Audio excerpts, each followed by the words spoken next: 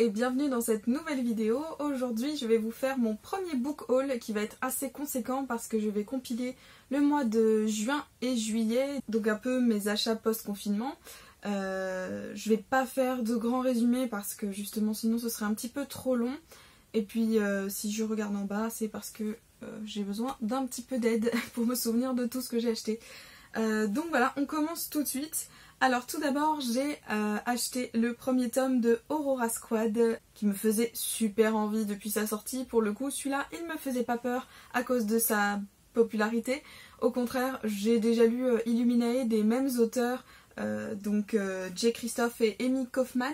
Donc c'est publié aux éditions Casterman et je sais que si j'ai adoré Illuminae, je l'ai d'ailleurs lu deux fois, c'est que je peux me plonger les yeux fermés dans Aurora Squad. Donc hâte de le lire. Ensuite, euh, sur Vinted, j'ai eu la grande surprise de trouver la saga euh, des chroniques lunaires de Marissa Meyer euh, en intégralité et en super état. Donc j'ai enfin pu avoir cette série dans ma bibliothèque. Donc on a le tome 1 Cinder, le tome 2 Scarlet, le tome 3 Cress, le tome 4 Winter, plus le hors-série Levana. Donc j'avais lu le tome 1 quand j'étais au lycée, donc il y a un petit moment.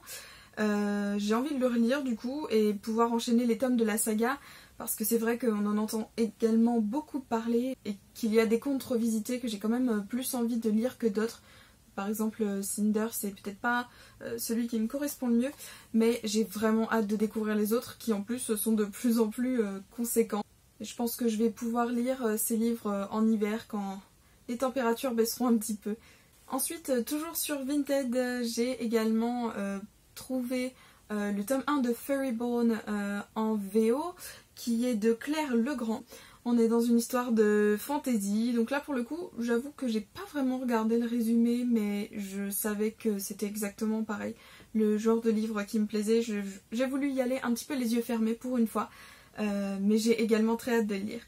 Dans cette même commande j'ai aussi eu le roman Big Easy de Ruta Sepetis, euh, aux éditions Gallimard. Oui. Donc là, cette fois, on change totalement de registre, de registre avec un contemporain euh, qui se passe euh, aux États-Unis, où une jeune fille justement vit avec sa mère qui est une prostituée, donc elle a une vie un petit peu sombre. Elle a pas beaucoup, un cadre familial très présent et pas très sécurisant non plus. Et justement, euh, on va voir comment cette fille va se débrouiller pour sortir euh, de sa situation actuelle et pouvoir un petit peu euh, reprendre sa vie en main et savoir un peu comment elle va réussir à se sortir de là. J'en ai vu de très bons avis, notamment de Audrey du Souffle des mots. Je sais que si elle l'a aimé, je peux y aller également les yeux fermés. Ensuite, j'ai également trouvé par hasard Engrenage et sortilège d'Adrien Thomas aux éditions Rajo. Donc là, on change totalement de registre euh, avec un univers cette fois steampunk, alors ce qui n'est pas du tout mon genre normalement, mais je crois que je n'en ai jamais lu, donc justement, ça me faisait un petit peu peur parce que j'avais peur que ça ne me plaise pas. Mais finalement, j'ai bien envie de tester de toute façon, il faut essayer. Donc euh, on va essayer, voilà. Et donc là, on va avoir euh, deux jeunes adolescents qui vont se retrouver poursuivis par des voleurs et des assassins, voilà, dans cet euh, univers rempli de mécanique. D'ailleurs, ils sont dans une école qui est totalement dans ce genre-là, donc où ils apprennent justement, je pense, à utiliser ces sciences. Et justement, ce mélange plutôt original me donne très envie de lui laisser une petite chance. Ensuite, notamment grâce à Kimi de la chaîne Kimi Collection, j'avais très envie de découvrir euh, L'arrache-mot de Judith Bouilloc, qui est un livre assez court mais qui a fait beaucoup parler de lui, euh, qui a de très bonnes notes sur les réseaux. Donc là, dans cette histoire, on va suivre Iliade qui reçoit un jour un message euh, de la famille royale parce que le prince veut l'épouser, donc elle va devoir vivre à la cour avec cette ambiance toujours pareil comme dans les histoires de cours, donc toujours avec des, trahisons, des mensonges, des illusions absolument partout. Et elle, il faut savoir qu'elle a une particularité, c'est que tous les mots euh, qu'elle lit deviennent réalité. Donc voilà, ça me fait quand même beaucoup penser euh, à la passe miroir et apparemment j'ai cru comprendre que l'autrice s'était beaucoup inspirée justement de cette saga pour écrire son histoire. Mais j'ai bien envie justement de voir où celle-ci va nous emmener, euh, peut-être dans des chemins différents avec euh, ce don si particulier. Donc on verra ça. Ensuite, toujours sur Vintage, je me suis procuré euh, des mangas, ce qui est assez rare parce que c'est vrai que les rares fois où je lis des mangas, c'est souvent des mangas de bibliothèque. Donc là, j'ai pris les tomes 1, 2 et 3 de Lost Paradise de Toru Naomura aux éditions Kiyun. En fait, c'est une série, je ne sais pas pourquoi, qui m'a euh, assez marqué alors que je ne l'avais pas lu. Je me souviens très bien que peut-être au collège ou au lycée, j'avais vu euh, ces livres-ci euh, en magasin et je trouvais que l'histoire était assez spéciale parce que là, pour le coup, on est dans un, on est dans une espèce de lycée assez prestigieuse où les garçons martyrisent les filles euh, en utilisant un espèce de jeu vidéo, en se servant des filles justement comme des armes. Alors ça m'a assez intriguée et en même temps au début un peu repoussée. Et finalement c'est vrai que c'est plutôt pas mal. Là j'ai lu le tome 1 donc je vais lire la suite. Euh, bon, ça a planté le décor, on voit que l'histoire est pas encore très aboutie, euh, pas très très mûre, c'est peut-être pour ça qu'on n'en a pas énormément entendu parler, mais j'ai trouvé quand même, ça m'intriguait depuis des années. Donc je me suis dit, je vais me lancer. Je les ai trouvés sur Vinted également. Et justement, dans cette histoire, euh, on va suivre Sora, euh, ce personnage, qui va justement vouloir euh, retourner ce système qu'elle trouve totalement injuste et absurde. et donc, elle va rentrer dans le jeu des garçons pour pouvoir elle-même se faire des alliés, mais cette fois pas comme des esclaves, mais comme de réels alliés. Euh, et du coup battre les garçons sur leur propre terrain pour pouvoir libérer les filles de cette école. Donc pourquoi pas, moi j'ai trouvé que c'était quand même assez original, j'ai hâte de voir la suite euh, si c'est aussi intéressant que ça en a l'air. Ensuite je me suis procuré euh, le deuxième tome double, donc le tome 3 et 4 du Sorceleur de Andrzej Sapowski aux éditions France Loisirs pour ma part. Voilà, je voulais terminer ma collection parce que je les avais tous sauf celui-ci. Actuellement, euh, je n'ai lu que le tome 1, euh, je suis en pleine lecture du tome 2. J'ai très envie de continuer parce que c'est une série qui me tient particulièrement à cœur. Je connais un petit peu les jeux, euh, j'ai vu la série plusieurs fois, je l'ai vraiment adorée. Donc j'avais vraiment envie de voir la base de cet univers qui est donc les livres qui ont été créés, mine de rien, il y a pas mal de temps. et il faut dire que pour le tome 1, j'ai vraiment pas été déçue, j'ai adoré. Donc dans cet univers, vous le savez sûrement, on va suivre euh, Gérald de Rive, euh, qui est donc un sorceleur qui s'occupe de débarrasser les monstres des villes, euh, qui est donc payé pour ça. Et donc on va le suivre à travers toutes ses aventures avec son fidèle barde Jasquier qui est juste à mourir de rire. Et tous les personnages qu'il va rencontrer qui vont plus ou moins avoir de l'importance dans sa vie et dans ce qui va se passer notamment euh, la sorcière Yennefer, que vous connaissez sans doute également. Bref, c'est un univers très complexe, c'est pour ça qu'il y a autant de tomes, là il y en a 7.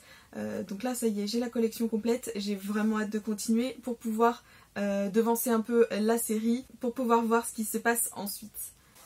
On continue avec le tome 2 de Silver Battle, Silver Battle et la pierre de cœur de Christine Albrook aux éditions Lumen, qui a été mon tout premier service presse, donc je les remercie d'ailleurs tout particulièrement de m'avoir fait confiance euh, malgré euh, les tout débuts de ma chaîne et mon manque d'expérience. Le tome 1 me tentait déjà énormément euh, avec cet univers de dragon d'eau dans, une, dans une ville désertique avec tout un aspect culturel qui avait l'air totalement différent des autres livres de ce genre. Donc du coup je me suis également procuré le tome 1 pour pouvoir lire le début avant de lire le tome 2 euh, c'est d'ailleurs ma lecture en cours, euh, j'adore pour l'instant. Je trouve que ça sort vraiment euh, des chemins battus, des livres jeunesse comme ça dans ce genre-là. on a des personnages atypiques, un environnement aussi atypique. Parce que c'est vrai qu'on n'a pas souvent des livres qui se passent comme ça dans les pays du Moyen-Orient. Du moins, c'est inspiré des pays du Moyen-Orient. Il y a un aspect, effectivement, comme je disais, culturel qui est très intéressant. Et évidemment, euh, l'aspect un peu mythique avec euh, ces magnifiques dragons d'eau qui font donc des courses. Euh, c'est de là que commence l'histoire, qui je trouve est une idée absolument originale et qui me fait très envie. Donc le tome 2, pour information, est sorti le 11 juin et j'essaierai de vous faire un avis sur les deux tomes au plus vite. On continue avec La fille qui tressait les nuages de Céline Chevet aux éditions du Chat Noir. Euh, c'est une maison d'édition que je ne connais pas du tout et justement qui m'intriguait euh, notamment grâce à ce titre-là. Je sais juste que ça se passe euh, au Japon, qu'il y a une histoire qui apparemment est plus sombre que ce qu'elle n'en laisse penser avec ce titre et cette couverture. Donc justement, j'ai pour celui-là également, j'ai pas vraiment envie d'en savoir plus pour être surprise par ma lecture. Mais en tout cas, pareil, j'en ai entendu beaucoup de bien, donc j'ai vraiment hâte de me lancer dedans. Et enfin, pour finir, euh, j'ai également fait euh, quelques autres acquisitions en VO sur Vinted toujours.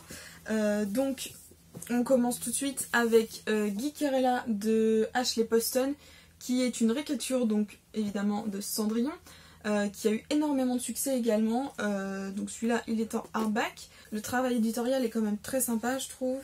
on a même, voilà, une petite, petite image sur la couverture en dur. J'ai également fait l'acquisition de Shadow of the Fox de Julie Kagawa, euh, qui est également un roman qui était sur ma wishlist, euh, qui est toujours dans euh, un univers asiatique, médiéval. Donc voilà encore une histoire de meurtre, de trahison, et tout ça dans l'ambiance des samouraïs japonais. Donc j'ai très hâte de pouvoir lire celui-ci également. Ensuite, le très connu maintenant Queens of Geek de Jen Wild, qui est une petite romance qui se passe euh, dans justement l'univers euh, du cosplay, euh, des jeux vidéo, voilà, tout l'univers de la pop culture. Donc moi-même qui est assez attirée par ce milieu, j'avais très envie de, voir justement un livre qui parle de ça. C'est vrai que c'est assez peu commun finalement. J'ai envie de me laisser porter par ce roman sans en savoir beaucoup.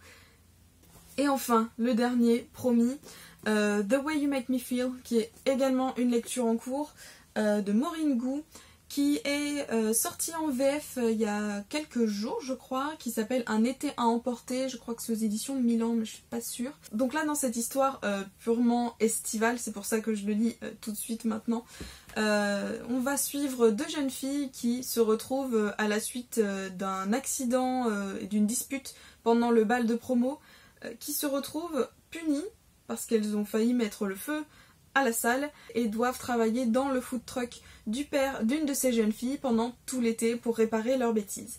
Sachant que ces deux jeunes filles se détestent, euh, il faut savoir que ça va être assez rigolo de les voir quand même euh, devoir se serrer les coudes euh, pendant tout l'été alors qu'elles ont juste qu'une envie, c'est de s'arracher les cheveux. Donc une petite histoire légère qui n'a pour l'instant qui n'est pas c'est pas de la grande littérature, mais pendant l'été c'est frais, c'est estival, ça fait du bien. Donc je vous le recommande pour cette période. Et voilà, c'est terminé pour cette vidéo euh, book haul. J'espère que ça vous aura plu. Dites-moi dans les commentaires si nous avons des livres en commun, si vous avez des livres qui pourraient m'intéresser également. Les livres sont toujours dans la barre d'infos. Et en attendant, je vous dis à bientôt pour une prochaine vidéo. Bye